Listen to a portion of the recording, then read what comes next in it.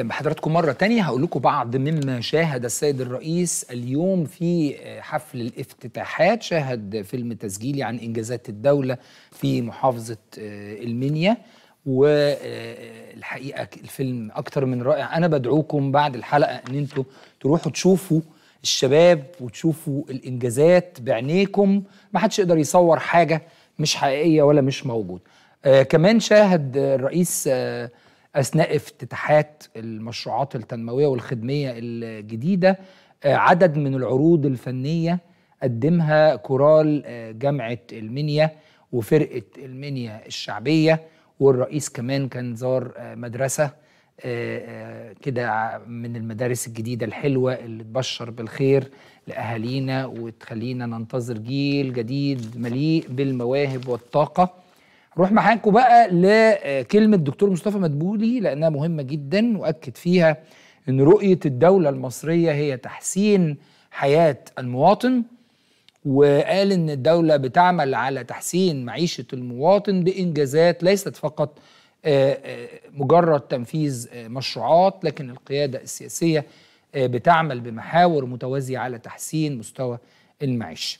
وخلال الكلمة اللي قالها دكتور مصطفى مدبولي النهاردة قال جملة شديدة الأهمية وهي تتلخص في رقم 143 مليار جنيه إجمالي استثمارات في محافظة المنيا تحظى حياة كريمة بالنصيب الأكبر منها. تعالوا نشوف جزء من كلمة دكتور مصطفى مدبولي ونفرح مع أهالينا في المنيا اللي اتظلموا كتير واستنوا كتير.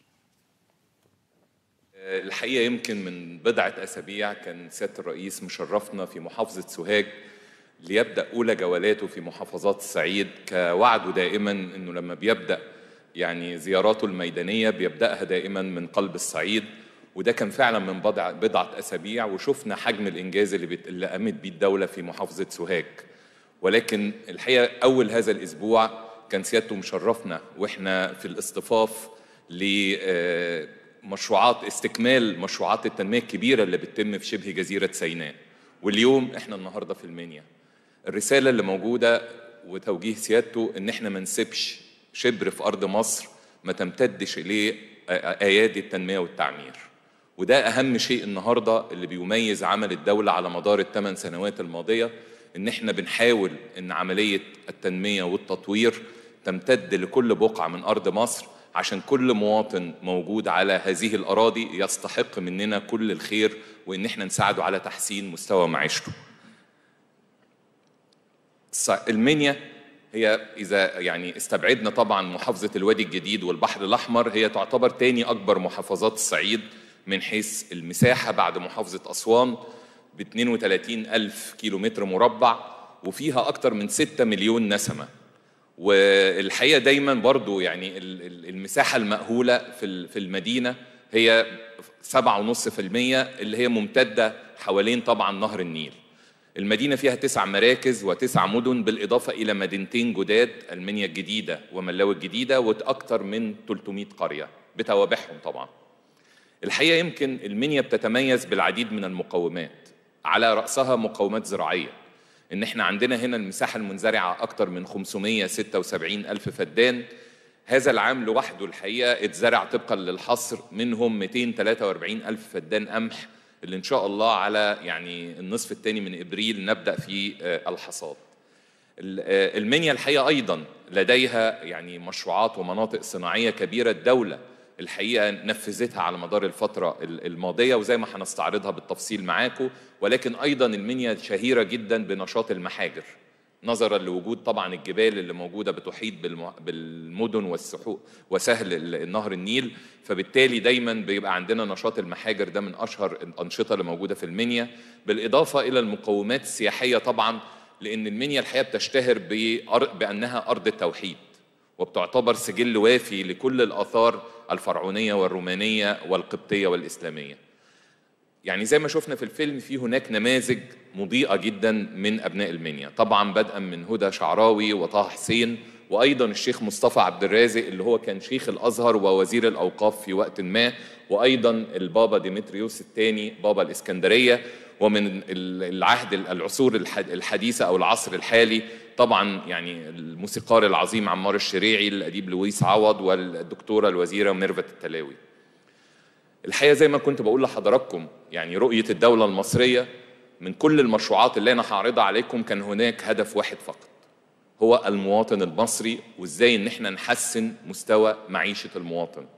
المشروعات مش ليس فقط لإنها تكون مشروعات ونباهي إن إحنا بننفذ مشروعات لكن نصب أعين الدولة والقيادة السياسية اللي بتتابعنا يوم بيوم هو إزاي إن إحنا بنحسن مستوى معيشة المواطن.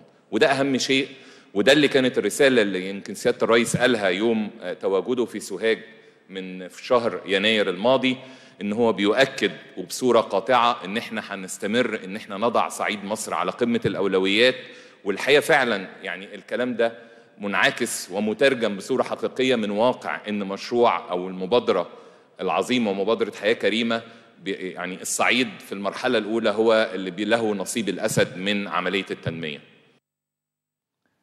آه ما نسيناش موضوع البنزين إحنا جايبين خبر مخصوص وجايبين مداخلة مخصوص زمايلي كتر خيرهم لأن الموضوع ده موضوع خطير ويهم الناس جدا جدا.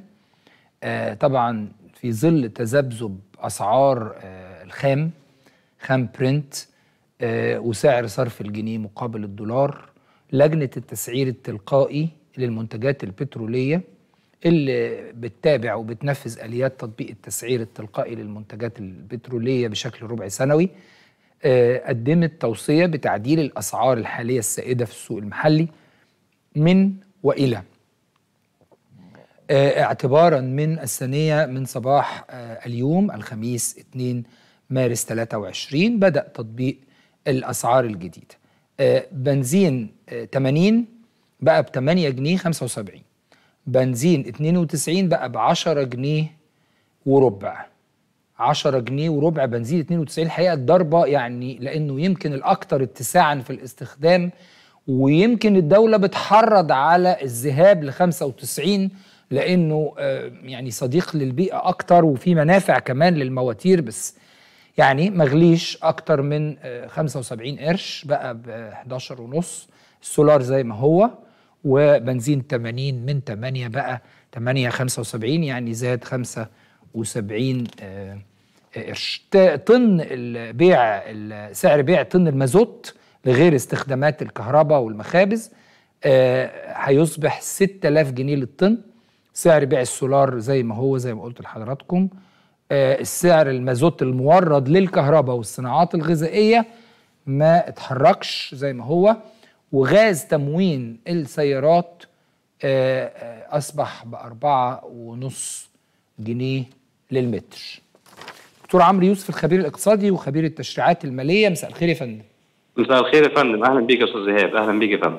دكتور عمرو يعني آه مش عارف يعني أنت آه حاسس إن الزيادات دي آه محتملة للناس ولا إيه إيه رأيك؟ أنا عارف إنه تسعير تلقائي وإن إحنا خلاص ما بقيناش بندعم هذا الأمر وإن إحنا بندعم الفئات الأكثر احتياجا والأولى بالرعاية لكن يعني أحب أعرف انطباعك أول ما عرفت الأرقام. والله هو يعني زي ما حضرتك تفضلت يمكن اجتماع اللجنة بشكل ربع سنوي وشكل دوري علشان تعيد تقييم المحروقات داخل السوق المصري. ويمكن إحنا على أعتقد على مدار اجتماعين سابقين اللجنة ثبتت الأسعار أو زودتها بنسبة قليلة عن المرة دي ولكن أي. حضرتك إحنا للأسف الشديد العالم كله بيتعرض لأزمات اقتصادية ونواتج تضخم من 40 سنة ما عشناهاش وعلشان كده وطبعا نتيجة توجه العالم كله لتقليل المحروقات أو الوقود اللي بيعتمد على الوقود الإحفوري أو الإحفواري أو نسبة التلوث فيه بتبقى عالية شوية نتيجة ضرره بالبيئه فبنجد إن حتى زي ما حضرتك تفضلت البنزين 92 ابتدى يعلى أكتر. برضك 80 ابتدى يعلى أكتر في مقابل 95 اللي هو أقل ضررا للبيئه وده توجه أعتقد توجه أممي على اعتبار إن هو مؤتمر المناخ نبه للكلام ده. ولكن يعني توجه أممي إن إحنا ما نعليش قوي خمسة الأوكتين نمبر العالي ما نعليش سعره قوي عشان الناس تذهب إليه تقصد كده؟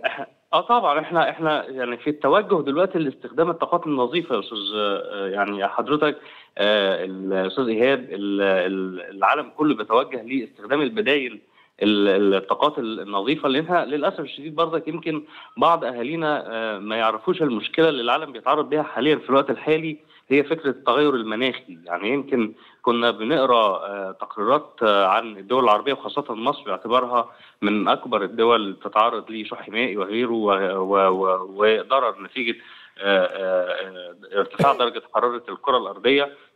وده اللي هيأثر على الاقتصادات بتاعة الدول. أعتقد يعني لما أنا بصراحة يعني لما شاهدت القرار الصبح أسلج آه، صدري قرار آه، السيد رئيس الجمهورية فيما يتعلق بدفع حزمة اجتماعية جديدة للتخفيف من على كاهل الأسرة المصرية. وأعتقد القرار ده يا أستاذ إيهاب بيرجعني لسنة آه، من النهارده. أعتقد في شهر ثلاثة اللي فات سنة 22 صدر نفس القرار آه، بزيادة بزياده المرتبات زيادة استثنائية عن ميعادها الرسمي في آه، نهاية شهر بدل ستة. سبعة بقت أربعة. آه وأعتقد آه، كانت التكلفة ساعتها 130 مليار جنيه آه، وصولا لقرار النهارده وكان طبعا كان في قرار قبل كده في شهر 10 فأعتقد إن القرار هيقلل شوية من القرار لجنة التسعير النهارده آه، أو هيبقى أشد أو أخف وطأة على كاهل الأسرة المصرية أشكرك يا. فندم. شكرا جزيلا. دكتور عمرو يوسف خبير الاقتصادي خبير التشريعات المالية. أروح معاكم للمجال السياحي الذي أعشقه كثيرا وأؤمن أن بلدي تحمل من الكنوز ما لا يخطر على قلب العالم. الحقيقة أنه آه، وزير السياحة والآثار بيعلن اكتشاف ممر جديد داخل هرم خوفو. آه، دكتور أحمد عيسى وزير السياحة والآثار آه، هو اللي أعلن في مؤتمر صحفي أمام هرم خوفو النهاردة الخميس.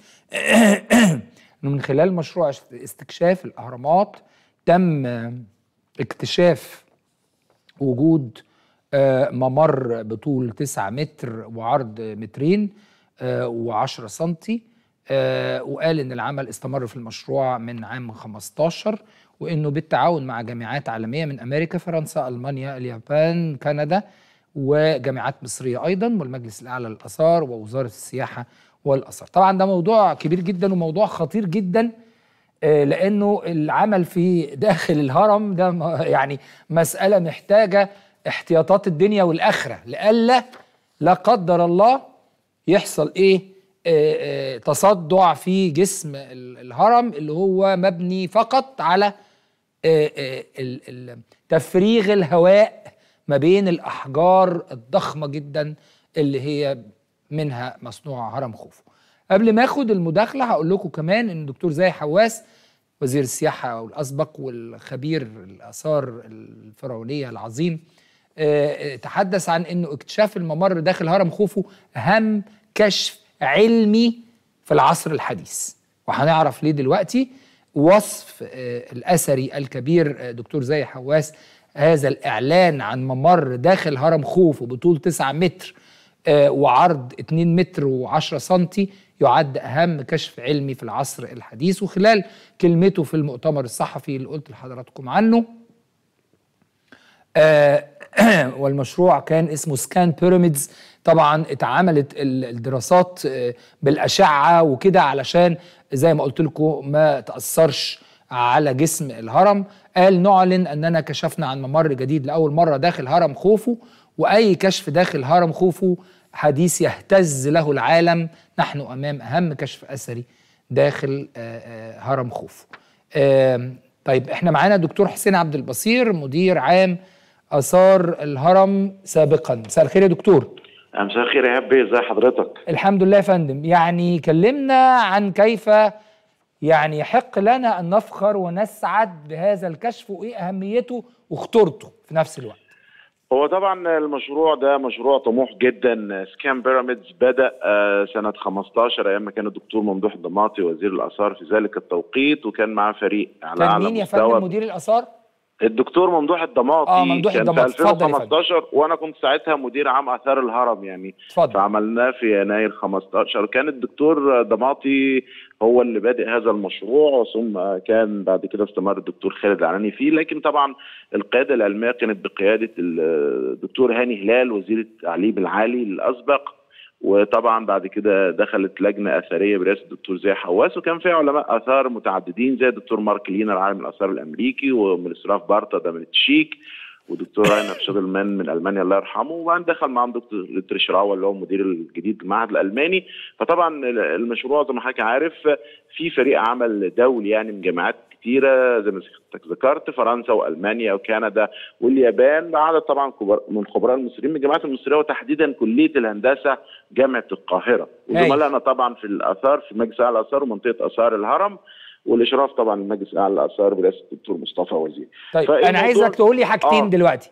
آه. الخطورة اللي خلتنا استدعينا كل هذه الجهات الهندسية والكشف بأشعة خوفا على جسم الهرم أكيد. والحاجة الثانية ده هيساعدنا في إيه بقى؟ يعني لقينا ممر جوه الهرم. إيه يعني؟ إيه؟ ليه, ليه الدكتور. زاهي بيقول إن ده أعظم كشف علمي في العصر الحديث؟ طبعا هو ده أول حاجة بأكد لسيادتك مفيش خطورة خالص على جسم الهرم من هذه الأشياء على الإطلاق لأن دي كلها يعني أجهزة حديثة وبتستخدم خارج الهرم و...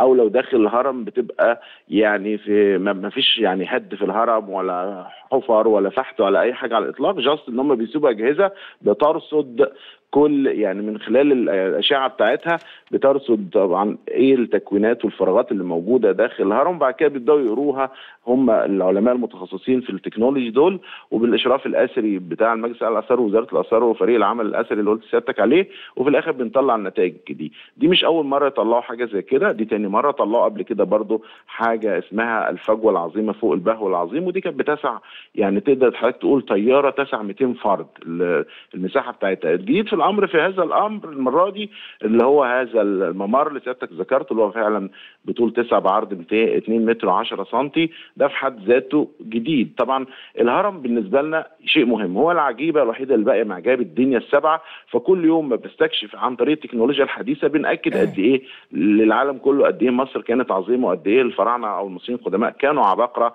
في علم الهندسة وفي علم الفلك وفي علم البناء.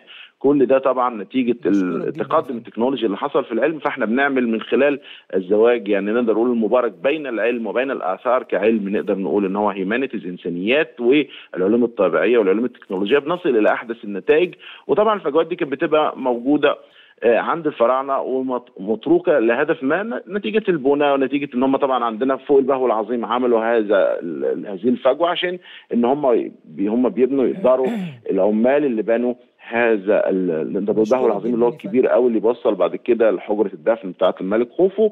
ده في حد ذاته يقدروا بعد ما يخلصوا البناء يا أستاذ ايهاب يخرجوا من هذا المكان. فكل الفجوات دي تركت لكن الجميل إن إحنا نقدر نرصدها لأن حضرتك عشان تعملها كنت لازم تعمل حفاير وتهد في جسم الهرم لكن ده ما بيحصلش. فعن طريق هذه الأجهزة والرصد بيها وبالاشعه التي لا تؤثر على جسم الهرم على الإطلاق نصل إلى أفضل النتائج. زي ما حضرتك تقدر تستكشف بأي جهاز إيه اللي ورا الحيطة من غير ما ورا سيادتك تهد أو تهدم هذه الحيطة. شكرا جزيلا دكتور حسين عبد البصير مدير عام آثار منطقة الأهرامات سابقا. شكرا جزيلا. وإحنا طبعا هنتابع مع حضراتكم إيه المردود السياحي اللي ممكن والعلمي كمان وده الأخطر اللي ممكن يضيفه هذا الكشف لقيمه الحضارة المصرية القديمة. نروح للجو. آخر أخبارنا عن الجو. الجو اللي معي كل الناس وعلى رأي الكوميك آه، واحد بيقول يا رب ما فيش حد ابدا يقول لي أنا معاك وعمري ما هسيبك. طلع له دور البرد قال له ما رحت فين؟ فالحر اللي إحنا فيه بيزود الكحة وبيزود عرق الجسم اللي بيخليه بعد كده يتعرض لأي شوية هواء ياخد تاني دور برد ولسه قايمين من أدوار برد. وربنا ينجينا. هيئة الأرصاد بتكشف عن نشاط رياح جنوبية بتثير تراب على مناطق من الدلتا والسواحل الغربية وخلال ساعات أتربة ورمال على اسكندرية والبحيرة والغربية والقاهرة وفي انخفاض للرؤية الأفقية على الطرق الناس اللي بتسوق تاخد بالها. في برج العرب آه، بتنخفض الرؤية ل 1800 متر بس. اسكندرية 5000 القاهرة 6000 تبع آخر رصد للمحطة. الدكتور محمود عبد المجيد استشاري الأمراض الصدرية مدير مستشفى صدر العباسية سابقا. مساء الخير يا فندم. مساء الخير أهلا بيك أستاذ أهلا بيك. يعني يا فندم إحنا يعني كنت بقول إنه ال- الجو سخونة أنا بالنهار. حضرتك آه. آه يعني سخونة بالنهار وبالليل برد. و... كمان يا فندم فيعني- بقى الخطورة بقى أنا بعتبر كلامك ده آه يعني قرع الدكاترة. معلش تزعلش مني. نعم يا فندم. ده بعتبره قرع الدكاترة. ما إحنا هناكل عيش منين يا أستاذ لا يا فندم إزاي العفو يا بعد فندم؟ الشر عنكم طبعا لا جميعا. لا يا فندم ده حضرتك بقى هتاكل عيش من اللي جاي بقى. اللي هو بقى أصحاب. الأمراض أصحاب الأمراض الصدرية والجيوب الأنفية لا و- إحنا وعذابهم ويعملوا إيه في الأيام دي؟ نتمنى إن الناس كلها تبقى كويسة وبخير وبصحة جيدة إن شاء الله. بس أهم حاجة إن إحنا نتبع الإرشادات. يمكن في إرشادات معروفة وقديمة ومن أهالينا عارفينها. يعني طبعا الناس ال- آه، ما ما ننزلش في الجو المطرب ده إلا ل- يعني أغراض مهمة أو غرض لا يمكن يتعمل لازم نعمله بنفسنا وخصوصا مرضى الحساسية مثلا اللي عندهم حساسية صدر أو حساسية أنف. ويفضل إن هم لو اضطروا إن هم ينزلوا يبقى لابس كمامة. يعني إحنا اتعودنا خلاص من أيام الكورونا على لبس الكمامة. آه إنما يعني يفضل ان إن إحنا ما ننزلش. كمان برضو آه في بيوتنا نقفل الشبابيك وقت العواصف والحاجات دي عشان ما يبقاش فيه أتربة و- آه تخش بالذات مرضى الحساسيه بتوع الصدر والأنف آه، دول هم المعرضين أكتر. آه، يستخدموا الأدوية بتاعتهم بانتظام. يعني إذا كان مرضى حساسية الأنف يستخدموا بخاخات الأنف إذا كانوا بيهملوها لا يستخدموها. إذا كانوا مرضى حساسية الربو برضه بخاخات حساسية الصدر. يستخدموا بخاخات ال- الصدر آه، وبخاخات الحساسية بانتظام زي ما الطبيب بيقول. ولو حسينا بأي أعراض زي ارتفاع في درجة الحرارة أو سعال متكرر أو صعوبة في التنفس نلجأ للمراكز الصحية القريبة من بيتنا آه، مع برضه ارتداء الكمامة وإحنا رايحين. يعني إحنا متهيألي إحنا عملنا بروفة كبيرة جدا وخدنا يعني عملنا تدريبات جامدة جدا في أيام الكورونا. مش كده ولا إيه يا أستاذ إيهاب؟ أو خدنا مناعة. وخدنا مناعة طبعا. في شك إن برضو كويس إن حضرتك قلت هذا الكلام لأن هذه الأدوار كلها آخرها آم، مش سيء زي أيام الكورونا. يعني الكورونا بقت ضعيفة جدا. ال- الناس خدت اللقاحات. حتى اللي بيصاب بكورونا ما يخافش ولا بنشوف حالات يحصل لها نقص أكسجين زي ما كنا بنشوف. أو تحتاج دخول مستشفى أو التهابات رئوية الحاجات دي ما بقناش نشوفها. هي عبارة عن نزلة برد ممكن تتطور لا قدر الله نزلة شعبية آه، وتاخد علاج وتشفى إن شاء الله. شكرا جد يعني جدا جدا لسعادتك دكتور محمود عبد المجيد استشاري الأمراض الصدرية ومدير مستشفى صدر العباسية سابقا. آه، بشكرك على وجودك معانا وبشكركم مشاهدينا. وبعد فاصل قصير هيكون حديثنا عن اجتماعات مجموعة الدول العشرين وخطورة القادم وهل له تأثير علينا أم لا؟